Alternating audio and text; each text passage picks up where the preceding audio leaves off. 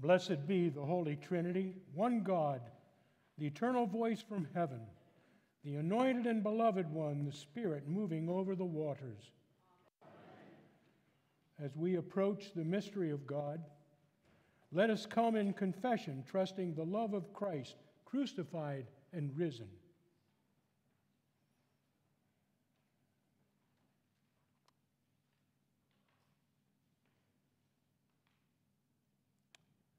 God who searches us and knows us, you have shown us what is good, but we have looked to other lights to find our way. We have not been just in our dealings with others. We have chosen revenge over mercy. We have promoted ourselves instead of walking only with you. With what shall we come before you? Forgive us our sin and show us your salvation in the face of Jesus Christ our Savior. Amen. Beloved of God, you have not received the Spirit of the world, but the Spirit that is from God, poured out for you in the faithfulness of Jesus Christ. Receive the promise of baptism. You are God's child. Your sins are forgiven. Rejoice and be glad, for yours is the reign of heaven. The grace of our Lord Jesus Christ, the love of God, and the communion of the Holy Spirit be with you all. With you. Let us pray. Lord God, with endless mercy, you receive the prayers of all who call upon you. By your Spirit, show us the things we ought to do and give us the grace and power to do them. Through Jesus Christ, our Savior and Lord. Amen. You may be seated.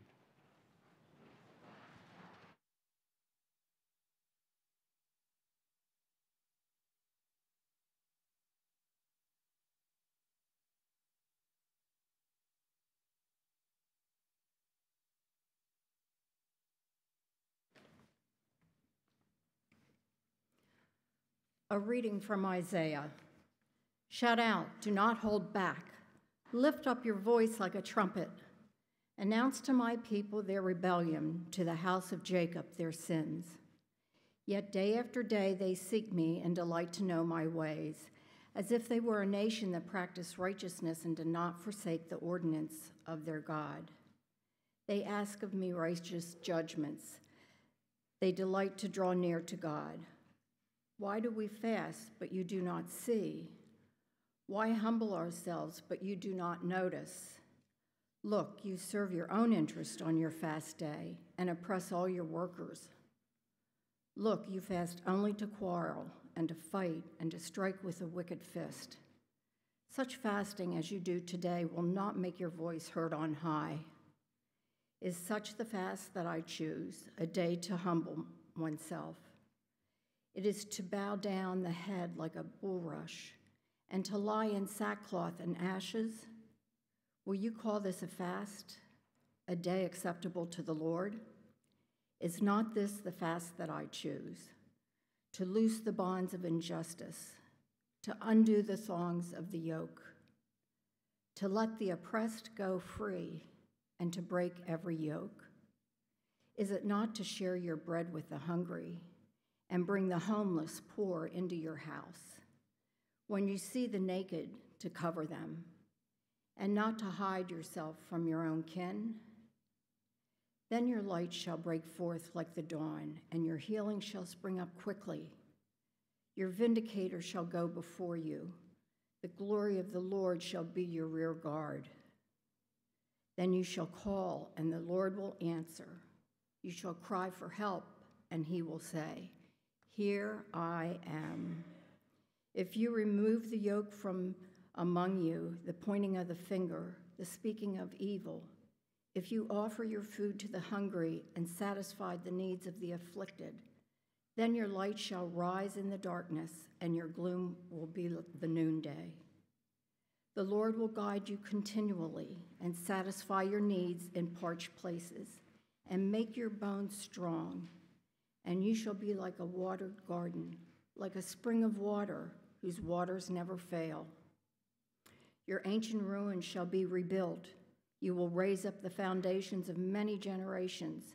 You shall be called the repairer of the breach, the restorer of streets to live in.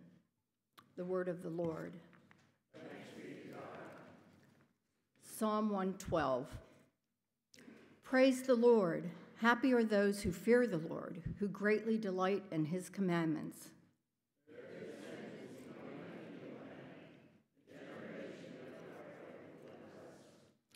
Wealth and riches are in their houses, and the righteousness endures forever.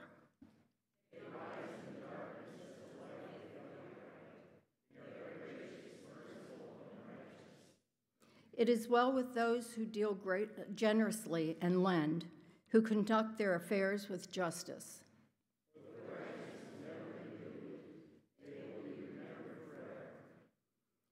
They are not afraid of evil tidings. Their hearts are firm, secure in the Lord.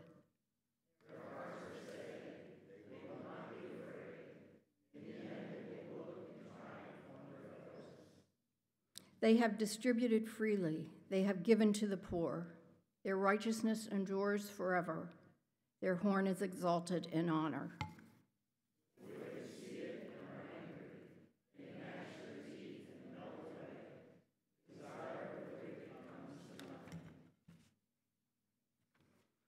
A reading from 1 Corinthians. When I came to you, brothers and sisters, I did not come proclaiming the mystery of God to you in lofty words or wisdom, for I decided to know nothing among you except Jesus Christ and Him crucified. And I came to you in weakness and in fear and in much trembling. My speech and my proclamation were not with plausible words of wisdom, but with a demonstration of the Spirit of and of power, so that your faith might rest not on human wisdom, but on the power of God. Yet among the mature we do speak wisdom, though it is not wisdom of this age or of the rulers of this age, who are doomed to perish. But we speak God's wisdom, secret and hidden, which God decreed before the ages of our glory. None of the rulers of this age understand this. For if they had, they would not have crucified the Lord of glory. But as it is written, what no eye has seen, nor ear heard, nor the human heart conceived, what God has prepared for those who love him, these things God has revealed to us through the Spirit. For the Spirit searches everything, even the depths of God. For what human being knows what is truly human? except the human spirit that is within. So also no one comprehends what is truly God's except the Spirit of God. Now we have received not the Spirit of the world, but the Spirit that is from God, so that we may understand the gifts bestowed on us by God. And we speak of these things in words not taught by human wisdom, but taught by the Spirit interpreting spiritual things to those who are spiritual. Those who are unspiritual do not receive the gifts of God's Spirit, for they are foolishness to them, and they are unable to understand them because they are spiritually discerned. Those who are spiritual discern all things, and they are themselves subject to no one else's scrutiny. For who has known the mind of the Lord so as to instruct him? but we have the mind of Christ. The word of the Lord.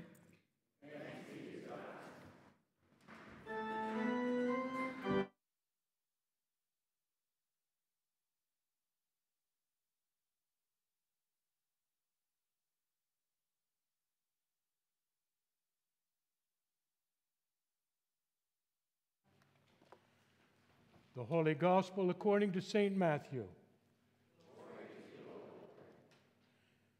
Jesus said to his disciples, You are the salt of the earth. But if salt has lost its taste, how can its saltness be restored? It is no longer good for anything, but is thrown out and trampled underfoot. You are the light of the world. A city built on a hill cannot be hid. No one, after lighting a lamp, puts it under a bushel basket but on a lampstand, and it gives light to all in the house.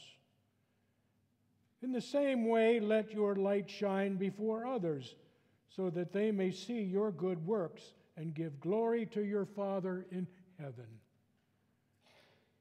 Do not think that I have come to abolish the law or the prophets. I have come not to abolish, but to fulfill.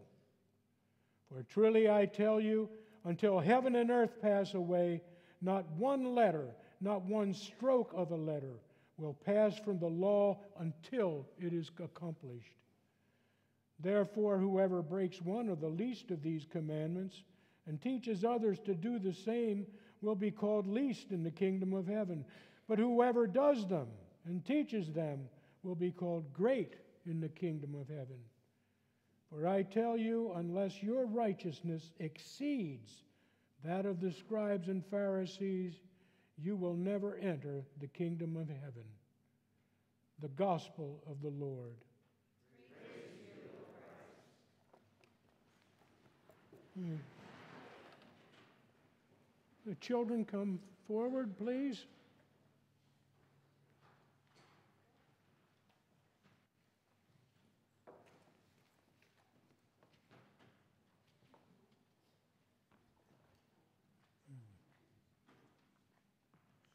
Well, hi.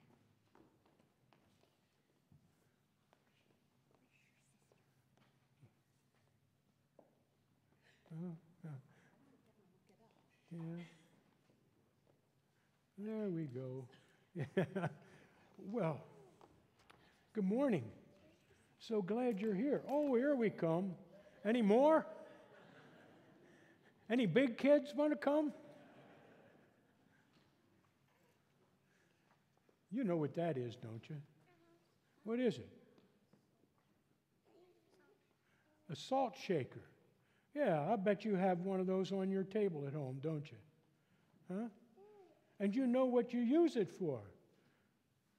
Mommy makes food, and sometimes uh, she'll tell you you might want to add a little salt. Well, I don't know why. Mommies make the best food, don't they? Huh? I know my mommy did, and so did my wife. That's why I got all this. well, salt's very important. You know, it's really amazing. One of the things that Mrs. Schmid, my, my wife, made me and the boys do, if we had a sore throat, she would mix salt in water and really put a lot of salt in there. And we had a gargle. You know what a gargle is? You know, you like that. And that helps to kill the germs in our throats that causes us a sore throat. And salt sometimes is used to heal wounds, and sometimes it's used to purify. And sometimes we have to put it to things so that the flavors that are in what we want to eat come out stronger. It's very good. Well, Jesus said that you, you are the salt of the earth. Well, now, as a grandpa, I think I would, if I was doing that talk in front of the disciples, I think I would have said, You are the sugar of the earth. yeah, yeah. Don't you get called sugar sometimes? Yeah. Yes, I knew so. I knew that. I knew that. Yes, salt is very important. And so, then Jesus said, We are the light of the world.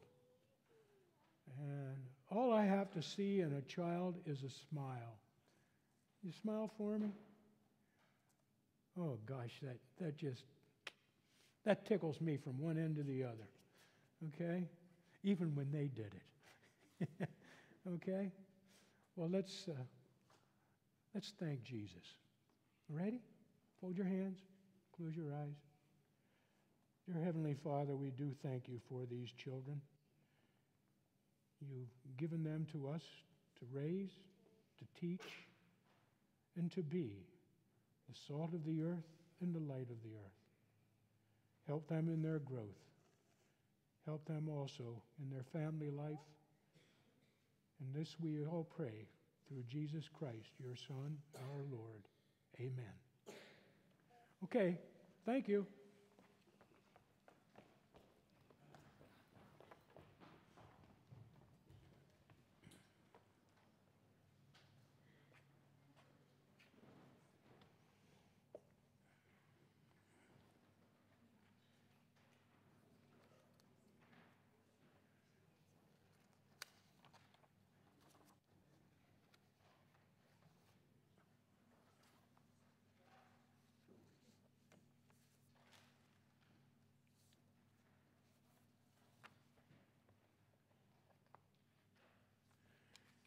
Grace to you and peace from God our Father and our Lord Jesus Christ.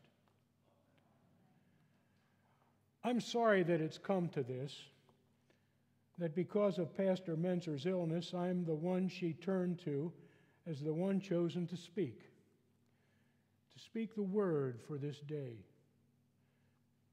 And I'm thrilled that it has come to this, for this too is what I am through my baptism, consecration, ordination, which even though I resigned from a call, is still a part of my life through association with God, my Heavenly Father, Jesus Christ, my Savior, and the Holy Spirit, my guardian.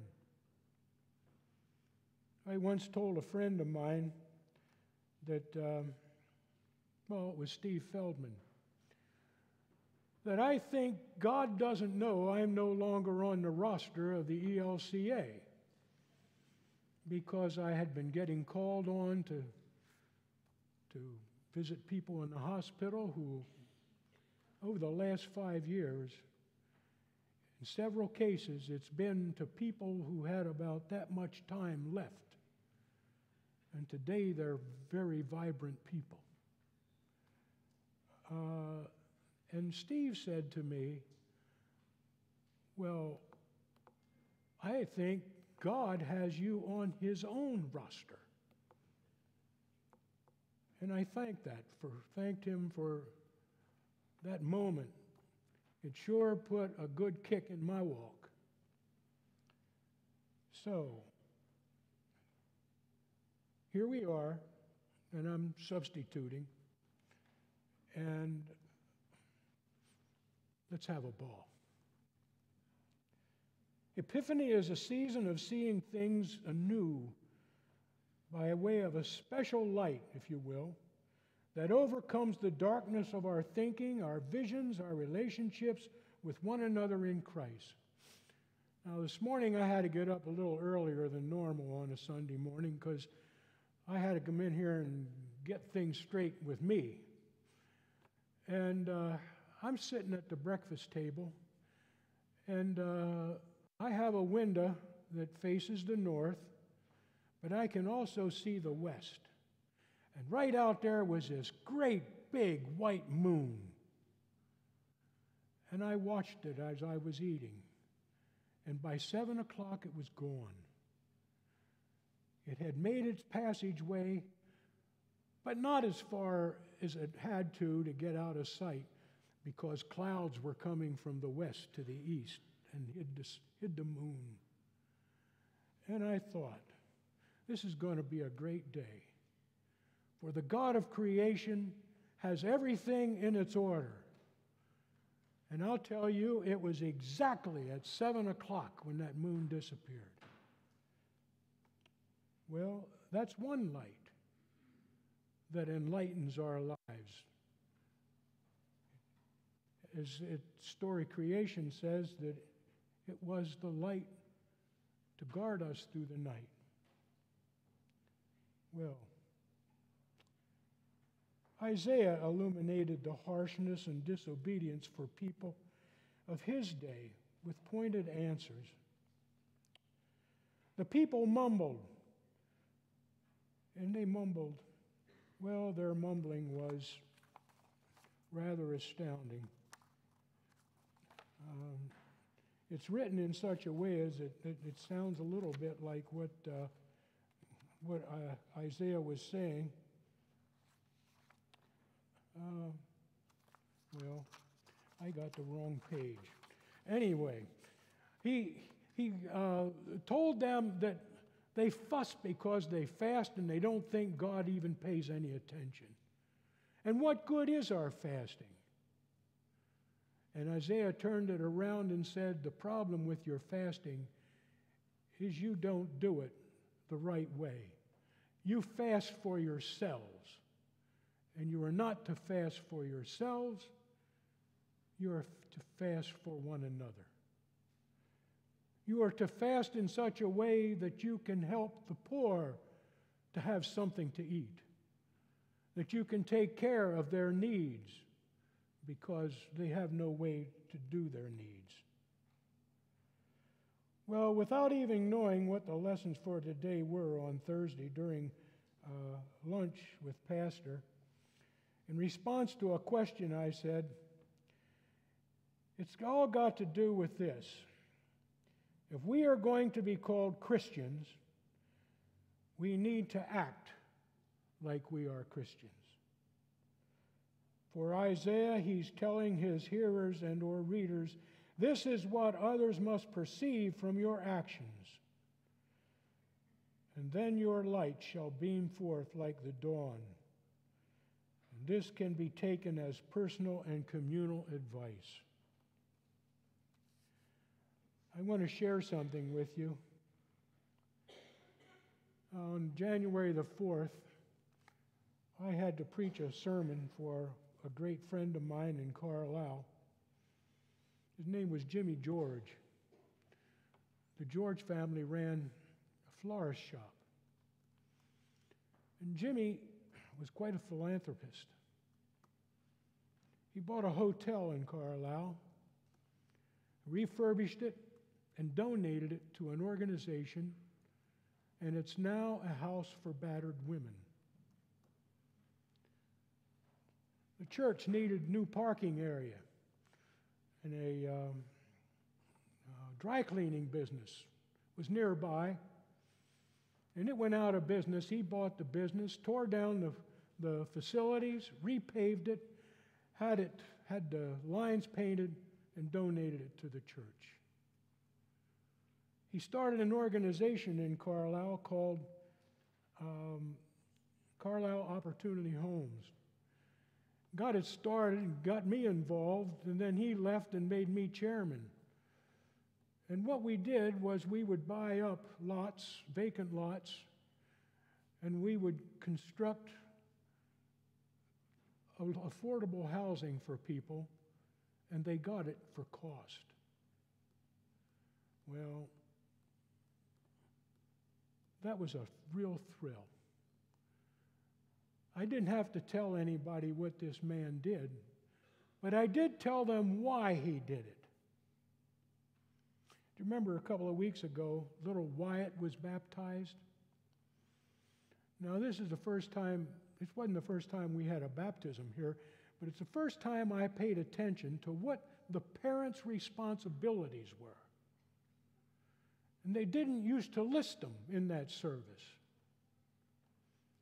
And one of the things that's listed is that you teach your children to care for the needy.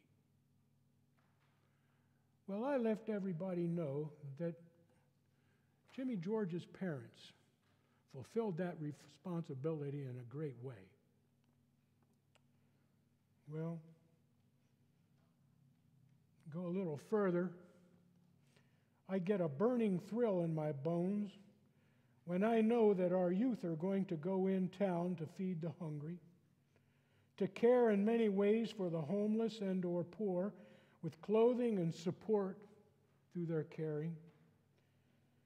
The needs of people become illumined to these young people. Not everybody has it as good as we do. And that's just one example of moving off site to take God's love to others in the name of our Lord. But it is the fulfilling of how we are the rear guard for people in need. And that's why Jesus pointed it out to his followers that they are the salt of the earth. I learned while making candy just how important salt is. If I was making a batch of caramel and forgot to put in the vanilla, and you tasted it, you would hardly notice it. But that wasn't the case with forgetting the salt. That's because the salt causes the vanilla to become stronger in its taste equivalent. And so Jesus said, What good is salt if it has lost its taste? Well, they're saying that. He said, You are the light of the world. If when you are at a restaurant with your family or by yourself, and you take the time to offer thanks to God for, the, for this sustenance, obviously some will think you're just a show off. Well, so what? Let them think. Others will take the opposite thought. How meaningful that was to see someone pray in a restaurant and maybe do so themselves. And being the salt of the earth, we are also being the light of the world. So again, I say, if you are a Christian, act like it.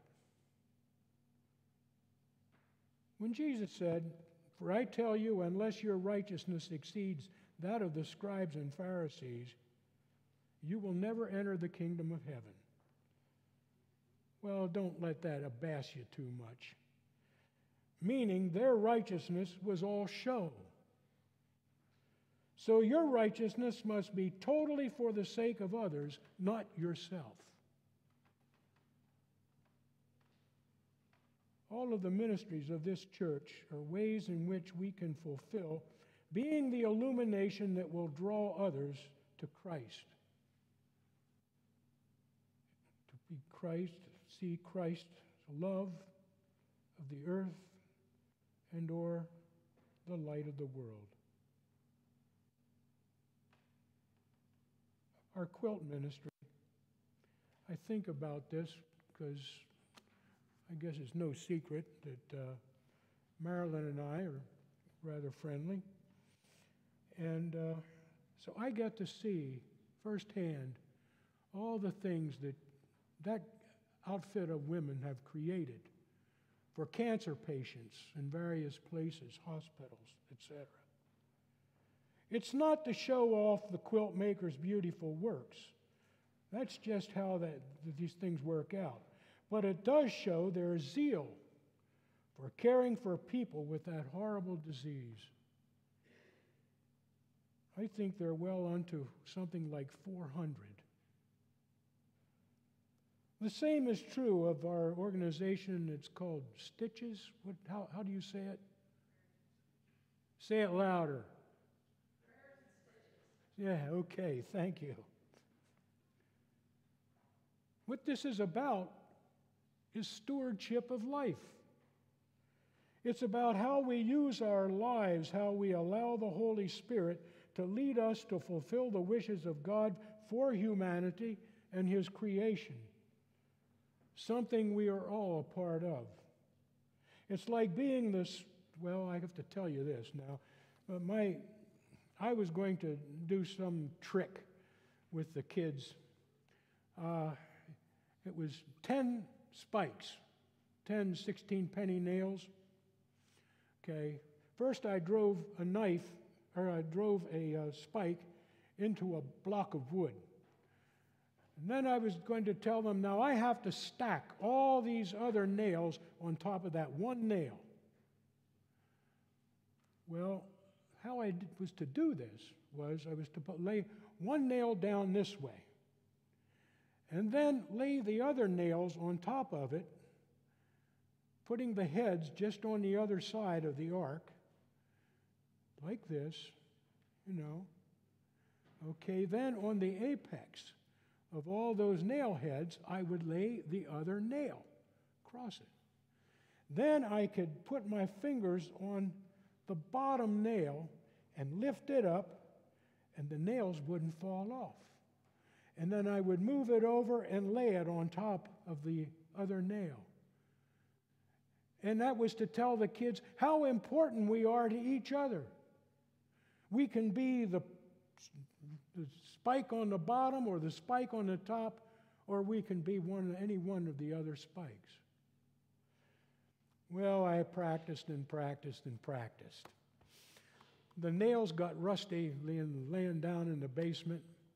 I had done this before here uh, back in the 80s, and it worked. But because the nails were rusty, they wouldn't stay on that other nail. That's why I came up with a salt idea. Well, so it's like being the spikes that hold all the other spikes together. It looked like a trick, but no, it was using how the spikes can hold on to one another and the other on top. It's how we are important to each other and how we can be the lamp to brighten the road of life ahead. Later in the service, we will be passing the peace to one another. Today, I want you to concentrate on what that might mean to the persons to whom you greet with the peace of, Lord, of the Lord to be with them. And as they respond, what that can mean for you. It's not meant to be a quick greeting, well, nice to see you today thing. It's an uplifting salute for each other. It's being the nails held together in faith and spirit, just like we are held together through our baptisms by the Holy Spirit, who was given to us in the baptismal function. All of which came to us by way of the word spoken and the water drizzled, or maybe some of you were completely submerged. This is the mortar that holds us together in faith.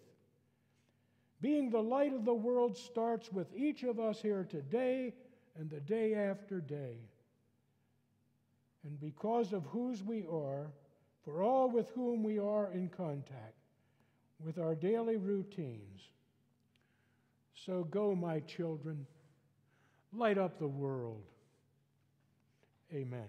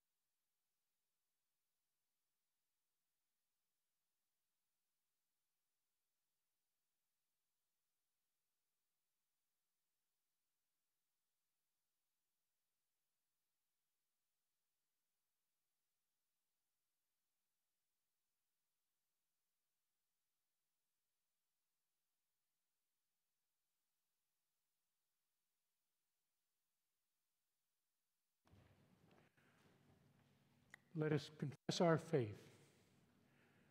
I believe in God the Father Almighty, creator of heaven and earth. I believe in Jesus Christ, God's only Son, our Lord, who was conceived by the Holy Spirit, born of the Virgin Mary, suffered under Pontius Pilate, was crucified, died, and was buried. He descended to the dead. On the third day, he rose again. He ascended into heaven. He is seated at the right hand of the Father, and he will come to judge the living and the dead. I believe in the Holy Spirit, the Holy Catholic Church, the communion of saints, the forgiveness of sins, the resurrection of the body, and the life everlasting. Amen. With the whole people of God in Christ Jesus, let us pray for the church, those in need, and all of God's creation. Trusting that God hears us, let us pray for the church, the world, and those in need. Holy God, it is your desire that all people might come to know you intimately. Lead our communities into deeper relationship with you. May your church radiate your righteousness to all whom we encounter. Hear us, O God. God of creation, you quench the dry ground, bringing water that sustains life. Satisfy the needs of all the earth, so that all living things bear witness to your verdant grace and continue to shout your praise. Hear us, O God. Your mercy is great. For glory, during your time here on earth, you were crucified by powerful rulers who did not understand you. Grant leaders in our day wisdom and discernment that they may recognize you in the lives of people they serve. Hear us, O God. God of justice, you free us from the oppression that binds us and exhort us to serve one another. Liberate us from all fear, bigotry, and greed, and set our hearts and minds on love, equality, and justice. Hear us, O God. Your mercy is great. God of life, you reveal your serving love to us through the power of your Spirit. Bless those among us who are preparing to encounter your invigorating will in a new way, especially those preparing for or affirming baptism. Hear us, O God. Your mercy is great. And, O Lord, we pray for all those who are listed in our bulletin, and we include also the Spencer lady. Your mercy is great. Now, God of eternity, we give you thanks for the lives of the saints who have pointed us towards faithfulness to you. May we trust in your endless mercy and grace. Hear us, O God. Your mercy is great. Confident that you are able to accomplish more than we even dare to ask. We bring these prayers before you, believing in your saving grace revealed in Jesus Christ our Lord. Amen.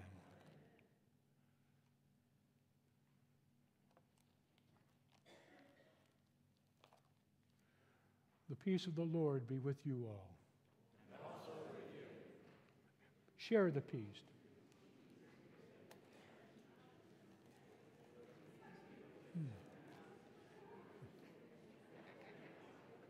Peace be with you. Peace be with you. Peace be with you, William. I'm going to come back to sing with you. Thank you. I was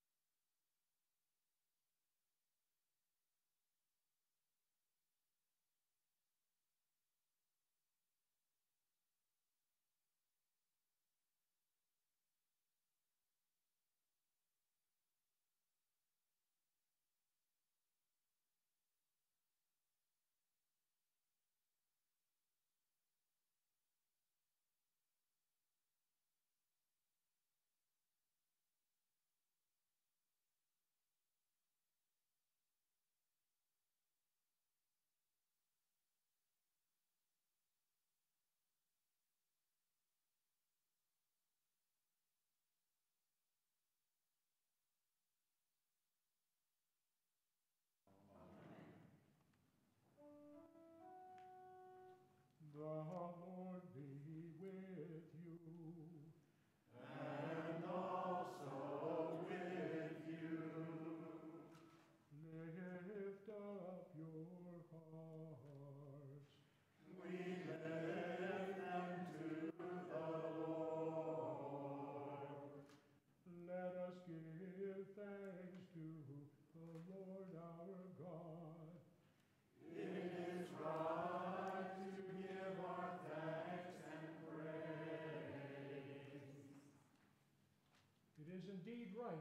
duty and our joy, that we should at all times and in all places give thanks and praise to you, Almighty and merciful God, through our Savior Jesus Christ, who on this day overcame death and the grave, and by his gracious resurrection, glorious resurrection, opened to us the way of everlasting life.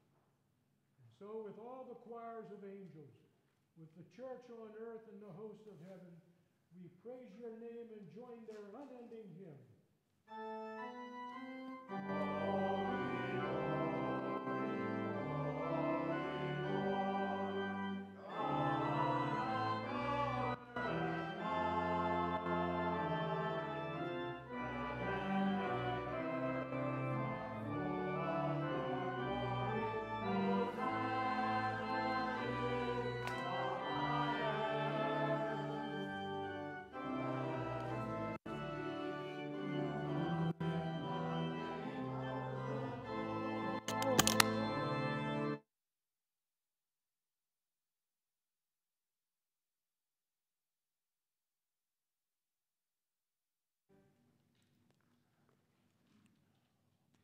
Holy and mighty, merciful Lord,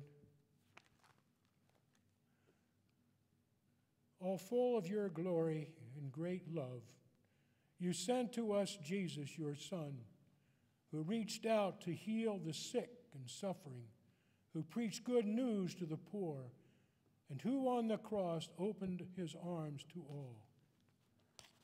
The night in which he was betrayed, he took bread. He blessed it and he broke it and he gave it to his disciples, saying, Take and eat. This is my body given for you. And likewise, after supper, he took the cup, he gave thanks, and he gave it for all to drink, saying, This cup is the new covenant in my blood, shed for you and for all people for the forgiveness of sin.